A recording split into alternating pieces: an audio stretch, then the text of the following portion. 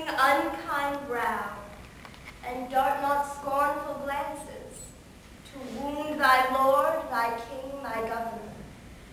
Thy husband is thy lord, thy life, thy keeper, thy head, thy sovereign, one that cares for thee, and for thy maintenance commits his body to painful labor both by sea and land, to spend the night in storms, the day in cold, while thou liest warm at home, secure and safe, and craves no other tribute at thy hand but love, fair looks, and true obedience. Too little payment for so great a debt. I am ashamed that women are so simple to offer war where they should kneel for peace, or seek for rule, supremacy, and sway when they are meant to serve, love, and obey. Why are our bodies soft and weak and smooth, unapt to toil and trouble, but that our soft conditions and our hearts should well agree with our external parts? Now come, come, you froward and unable words, my mind hath been as big as one of yours. My heart is great.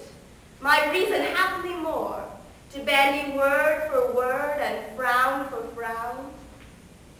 But now I see our lances are but straws.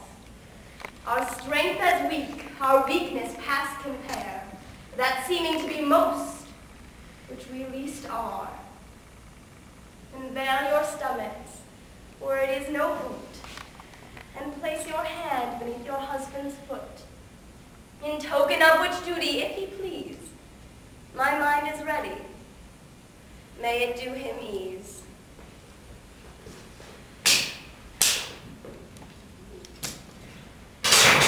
Now there's a lusty wench. Come on and kiss me, Kate.